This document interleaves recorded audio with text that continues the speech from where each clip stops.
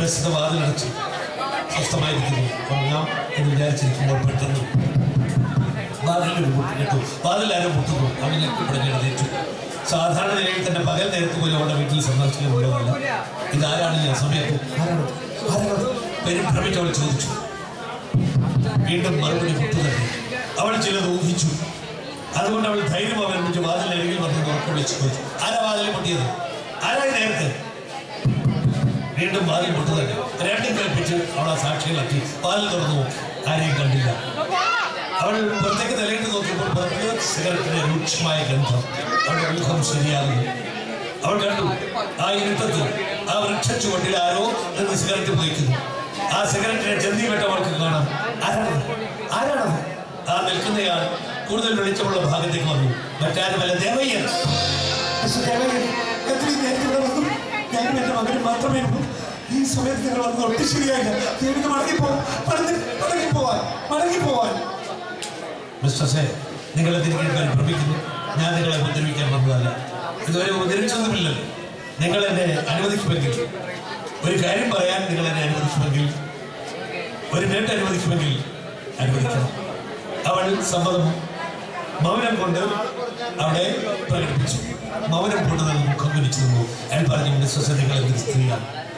വാതിലടച്ച് വീട്ടിനകത്തിരുന്നാൽ പുറത്തെ കാര്യങ്ങളെല്ലാം പറയാൻ കഴിയുമോ നിലാവിൽ കുളിച്ചു നിൽക്കുന്ന ഈ വനത്തിന്റെ ഭംഗി നിങ്ങൾക്ക് ആസ്വദിക്കണ്ടേ? പാൽ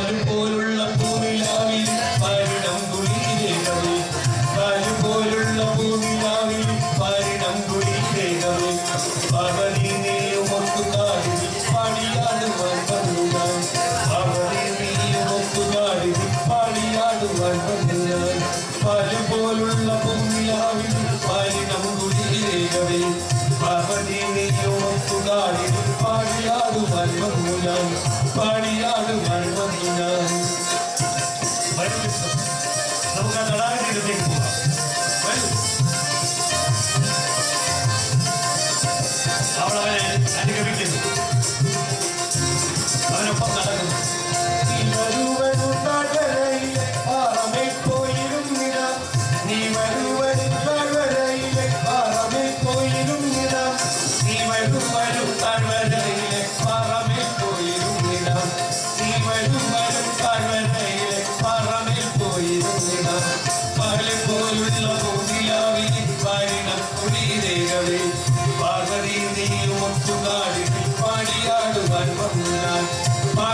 പാടിയാടുവാൻ വന്നു ഞാൻ പാടിയാടുവാൻ ഒരു സ്വപ്നാടകയെ പോലെ സ്വപ്നത്തിലെന്ന പോലെ അവൾ അറിയാതെ അവനൊപ്പം നടക്കുന്നു. ഒരാൾക്ക് കക്ഷിച്ച് നടക്കാവുന്ന ഒറ്റയടി പാതയാണ്.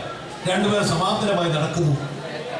അല്പദൂരം നടന്നു കഴിഞ്ഞപ്പോൾ ദേവയ്യൻ അവളുടെ തോളത്ത് ഒരു കൈയെടുത്ത് വെച്ചു. അവൾ പ്രതിഷേധിച്ചില്ല. അങ്ങനെ നടന്നവർ ആ തടാക തീരത്തെത്തി ദേവയ്യൻ പറഞ്ഞത് അത്ര ശരി. ആ വനമാകെ നിലാവിൽ കുളിച്ചു നിർത്തുന്നു പാൽ പോലുള്ള പോനിലാവ് പരന്നൊഴുകുന്നു. അവൾ കണ്ടു. ആ തടാകം നിലാവിൽ വെട്ടിത്തിളർന്നു. നിലാവിളിച്ച ആ തടാക പ്രതലത്തിൽ പ്രതിബിംബിച്ച് വല്ലാത്തൊരു പ്രഭാവകരം തന്നെ ഉണ്ടാക്കിയിരിക്കുന്നു. അവർ രണ്ടുപേരും ആ തടാക തീരത്തുള്ള പാറപ്പുറത്ത് വന്നിരുന്നു. തടാകത്തിൽ നിന്ന് നിലാവെളിച്ചം അവളുടെ മുഖത്തെ കൂടുതൽ ശോഭയാർന്നതാക്കി. ദേവയുടെ നോർത്തുമേറ്റപ്പോൾ അവൾ ലജ്ജാവതിയായി മുഖം പിടിച്ചു.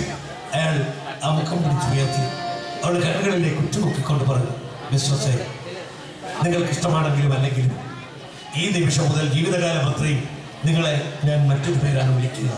വിളിക്കട്ടെ? പുള്ളിമാൻ. പുള്ളിമാൻ. വള്ളിക്കൊടിയിലെ